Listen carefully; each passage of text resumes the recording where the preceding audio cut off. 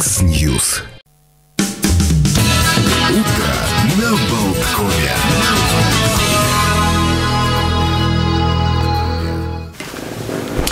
И еще раз всем говорим доброе утро. Продолжается утро на Балткоме. Мы встречаем наших гостей. Мы сказали, что гость, гости. Две гости у нас сегодня.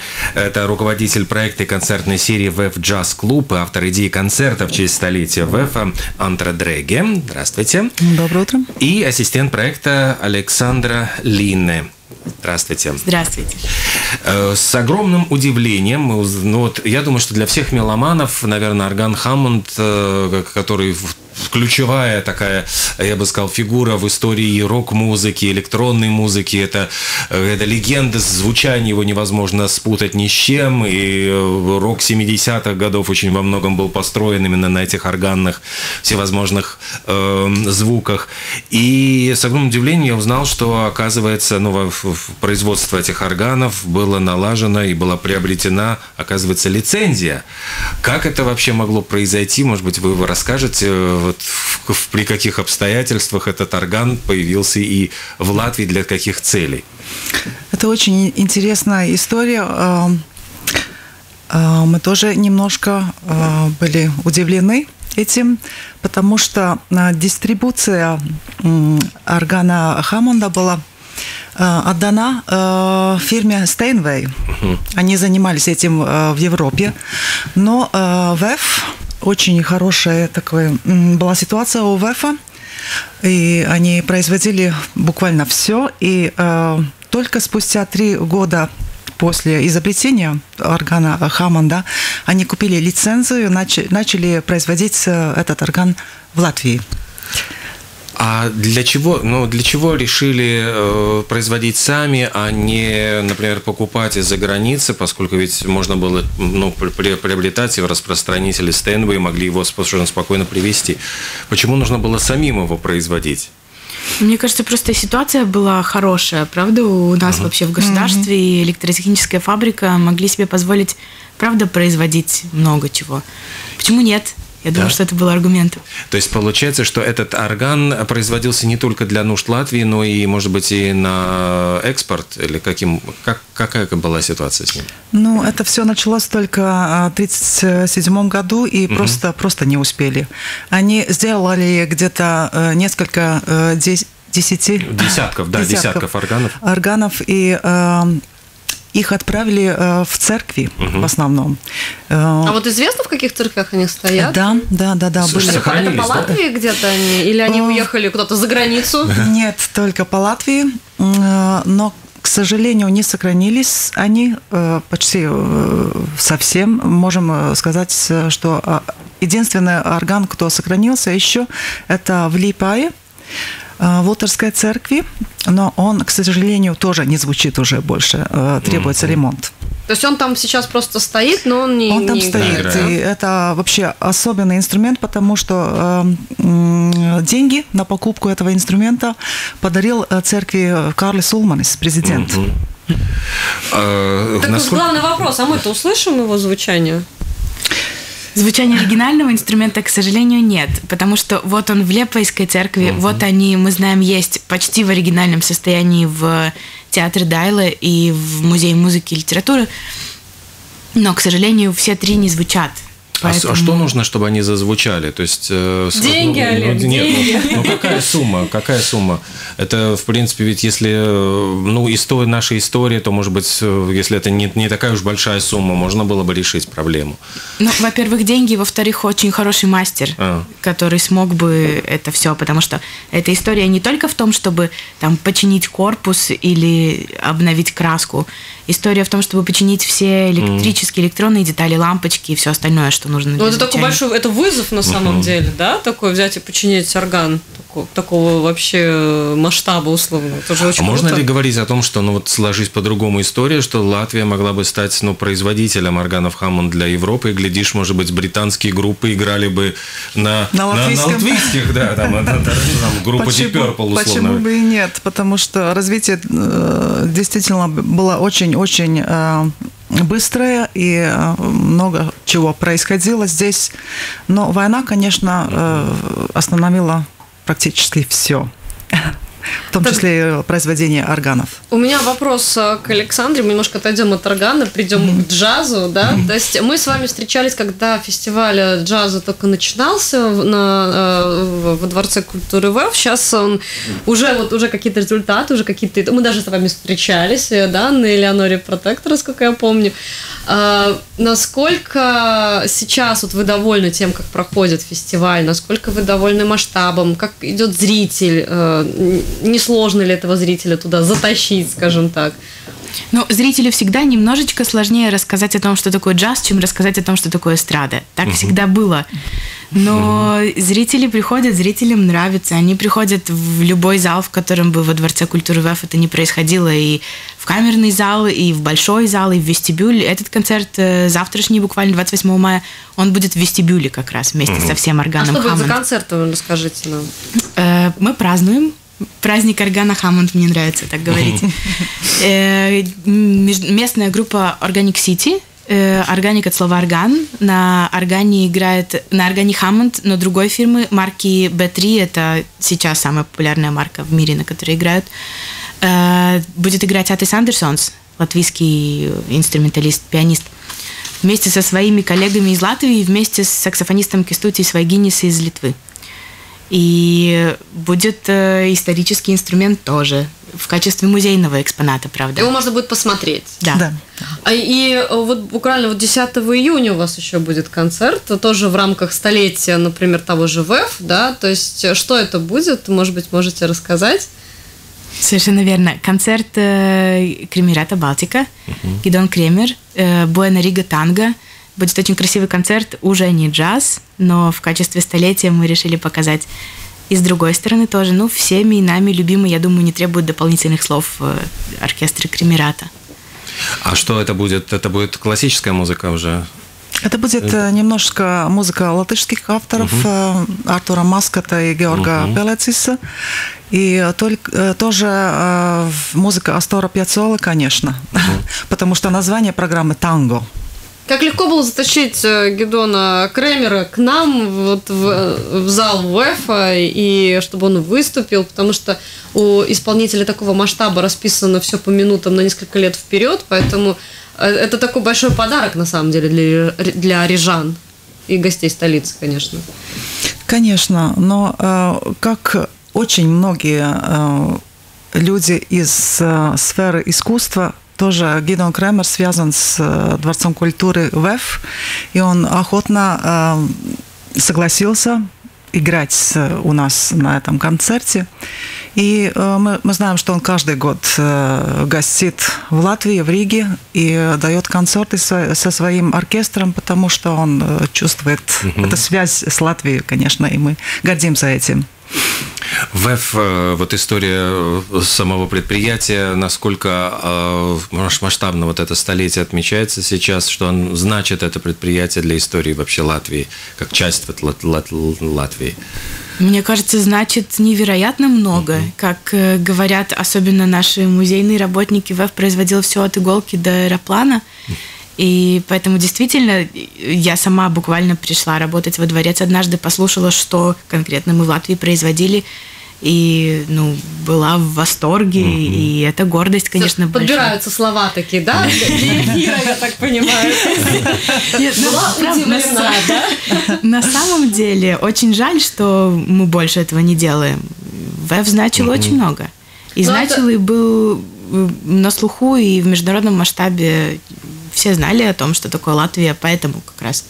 Да, но тогда, ну, как бы закономерный вопрос. Э, столетие – это точно праздник? Конечно, праздник. Но чуть-чуть такой... Грустный, печальный. С печалью, да, да праздник, с, с привкусом печали. Потому что, ну, жаль, что больше нет, жаль, что больше не производим. Но я очень рада о том, что у нас сейчас открылся музей, где угу. можно посмотреть все эти чудеса действительно чудеса, что, э, которые производились здесь, э, в Латвии. Так что я э, советую всем, кто еще не успел, прийти посмотреть. Музей очень маленький, но там очень-очень много экспонатов.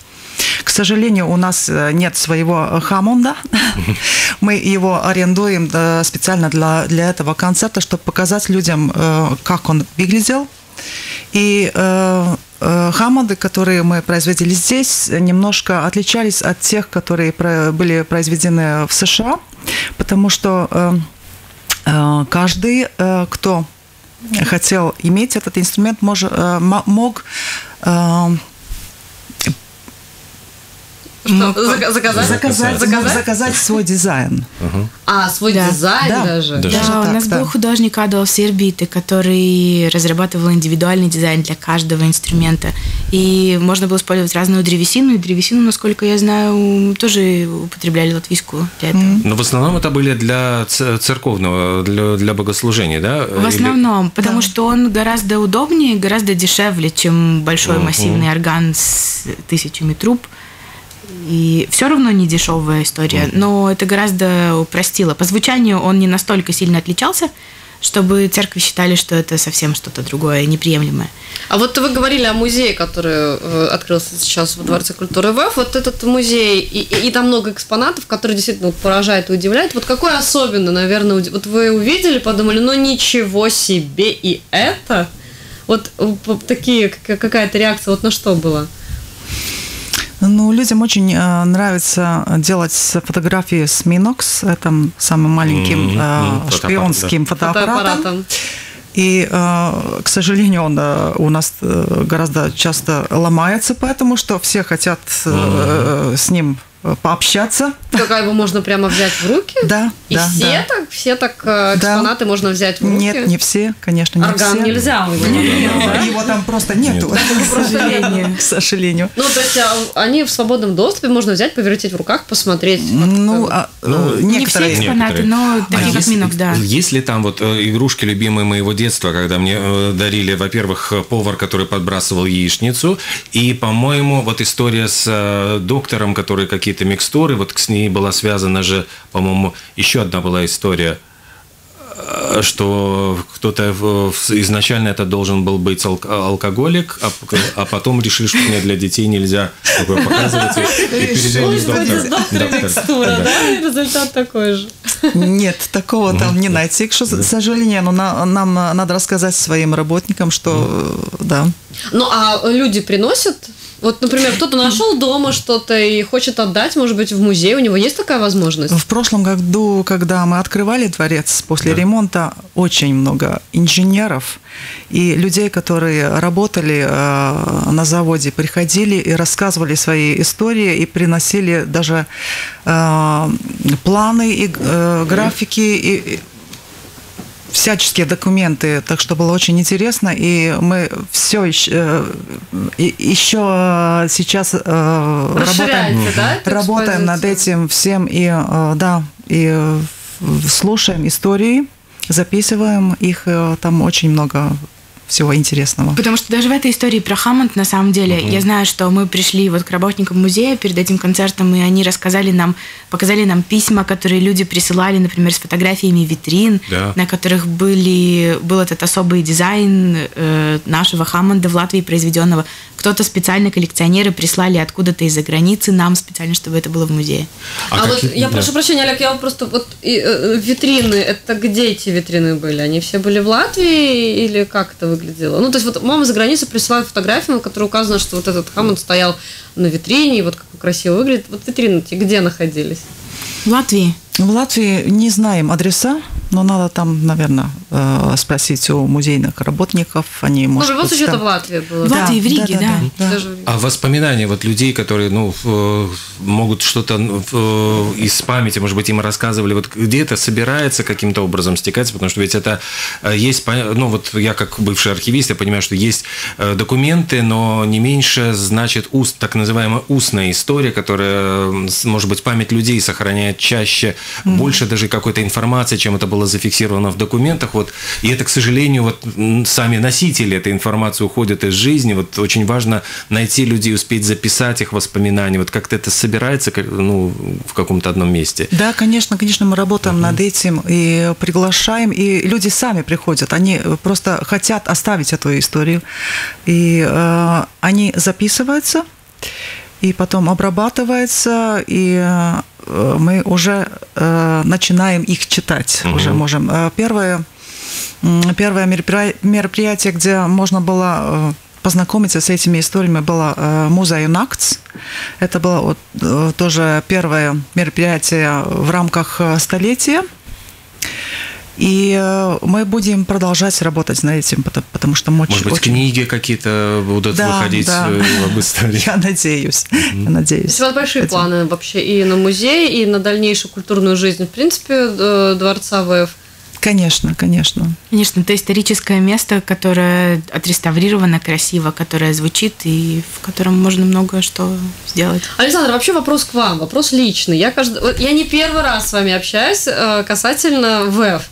Я каждый раз искренне удивляюсь, с какой невероятным вос... любовью, с каким невероятным восхищением вы говорите об этом месте. И, э, на мой взгляд, для людей там достаточно молодых это, в принципе, не очень свойственно. Они совершенно как-то, у них другие абсолютно интересы, как-то вот их туда, их туда пригласить, их туда затянуть, это тоже там своеобразный такой сложный процесс. Откуда вот это э, столько эмоций, столько любви к этому месту и к тому, что вы делаете там? Все очень просто. Я вообще в жизни, к счастью, имею большое счастье заниматься только теми проектами, в которые верю. Поэтому я знаю, что э, делает Антра, что делает наша коллега Сандра, что делают все остальные коллеги для конкретно этого места, какие замечательные проекты они пытаются туда привести, как они ими горят. Э, фактически с большинством этих музыкантов я тоже уже поработала, я знаю, с чего складывается. Угу. Может быть, знать изнанку тоже помогает в том, чтобы потом гореть тем, что видит публика. Ну да, просто вы говорите, вот я пришла в музей, посмотрела, удивилась, и как жаль, что мы сейчас не делаем. Это тоже это своеобразное, очень такое, ну, трепетное отношение к, к нашему прошлому и к тому, что вот что, как мы сейчас видим, достаточно реалистичное, на мой взгляд. И поэтому я каждый раз вот просто удивляюсь, потому что я мало знаю людей, которые приходят в музей и говорят, ну надо же, да, а вот когда, а в наше-то время, да, а, а сейчас, а ну молодые, что, А молодые люди, вот, которые приходят в музей, они э, удивляются тому, что в Латвии в самом деле было такое, ну, удивительное производство, и ведь, ну, когда гуляешь даже по Риге, ты видишь, сколько э, зданий там, вот, ну, в начале века было построено, сколько удивительные там, вот, ну, вот вещи, которые поражают, то, что Рига была, ну, одним из таких европейских, э, в самом деле центров и э, технических, и э, художественных. Да, да, на самом деле я была практически, наверное, весь день во дворце на ночь музеев. Угу. С тех пор, как люди начинали туда приходить, они начинали туда приходить часов за пять до, до заявленного времени, наверное, продолжали. И кроме вот этих всех исторических персонажей, которые хотели останавливать каждого работника, поговорить с ним о том, как было тогда и как им грустно, что сейчас так больше нет, э, приходило много молодых ребят, приходило много молодых семей с детками, рассказывали им о том, как и что у нас было. Было интересно наблюдать, что, правда, люди и молодые люди тоже сокрушались, да. и, что сейчас так нет, и удивлялись, да. Я вот э, вернусь немножко к и джаз-клубу, да, и вообще, в принципе, к музыкальным мероприятиям. И такой ужасно неприятный вопрос. Кто ваша целевая аудитория сейчас, на сегодня? Э, именно джазовой серии мероприятий? Да, джазовые. Я думаю, что у джаза вообще целевая аудитория довольно обширная. Потому что в Латвии э, есть очень много молодой публики, которая его слушает. Э, обычно принято считать, что джаз слушают люди там 25 плюс или 35 плюс и так далее. Но в Латвии у нас есть э, хорошее музыкальное образование, что позволяет студентам, начиная с 15-16-летнего возраста, слушать джаз, интересоваться джазом довольно-таки широко. Э, ну, в основном, я думаю, это все-таки от 20 в своей массе, ну и угу. до 99 плюс, да? Давайте оптимистично смотреть на продолжительность жизни в нашей стране. Что на самом-то деле? Насчет джазовых этих э, джазовых проектов, э, я понимаю, что ведь э, Гидом Кремером не закончится. Там что впереди тоже какие-то планы, насколько далеко вот они составлены, насколько есть ли планы какие-то привозить музыкантов, джазовых музыкантов из-за пределов Латвии например? Мы сейчас уже работаем над программами э, следующего года и даже 2021 года уже работаем. И э, мы будем продолжать работать с джазом, э, концертная серия джаза и тоже концертная серия для камерной музыки у нас имеется. а, по 8 концертов каждой из э, концертных серий и очень-очень разная музыка. И мы очень стараемся работать с молодежью, с детской аудиторией тоже придумываем проекты для них специально, чтобы, чтобы как, как-нибудь угу присоединить привлечь, их, да, да? привлечь их. А насколько тяжело, скажем, такой все-таки такой мамонт, как Вев, да, с такой большой историей, сделать его современным, да, то есть сделать там сайт более креативным, сделать проекты, которые будут... Соцсети, например, да, там соцсети вести, да, Инстаграмы. То есть, с одной стороны, это такой прям прошлое, прошлое, чуть не памятник архитектуры, а с другой стороны, его нужно как-то предложить этой аудитории там весело, задорно. Насколько это тяжело получается? Может быть, легко, наоборот, и, и люди очень отзывчивы. Я думаю, что это вопрос времени, конечно. Э, наша аудитория меняется, мы это видим, ощущаем. Э, конечно, это огромная работа, которую надо вложить, потому что э, ВЭФ ассоциируется для множества людей с э, кружками художественной самодеятельности, и их у нас много и сейчас, в том числе и детей очень много, которые учатся танцевать и петь, и это на очень хорошем уровне. И мы стараемся привлечь этих э, наших художников, которые э, упражняются в, в дворце, и чтобы они тоже приходили на э, тех, те мероприятия, которые мы организуем помимо э, их деятель, деятельности. И, конечно, ну, это, это вопрос времени, считаю. Ну и да, наверное, вот пока у нас заканчивается время эфира, но тем не менее я хотела бы все-таки сказать, что действительно во Дворце культуры ВФ огромное количество детских кружков. А, мне кажется, вы что-то озвучивали чуть ли не около 40, там как-то их очень много было. Больше, чем 60, если больше я правильно 60, помню. Да, больше 60. Это, это все от танцев, рисования до керамики, до фотокружка. Огромное mm-hmm. количество. Я, наверное, наверное, впервые за свою, э, за свою жизнь как, как мама начала изучать действительно не то, что вот там ты, ты, ты отводишь, там плачешь, у тебя ребенок занимается, потому что где-то услышал, а правда изучать расписание, что они предлагают, там в какое, в какое время. Mm-hmm. И все это доступно абсолютно, за что вам огромное спасибо, потому что это ужасно круто, правда. Вот, а нам надо потихонечку это, закругляться. закругляться. И единственное, наверное, вся информация в, можно найти или на страничке в Фейсбуке или, как всегда, на сайте, на сайте, на сайте да. Или вы придете и нам расскажете, да, потому что, ну, почему бы и нет, это всегда с удовольствием. Антра Дреги и Александра Лина сегодня у нас были в гостях. Спасибо вам большое. И на этом утро на Болткоме завершается. Да, всего хорошего. Спасибо.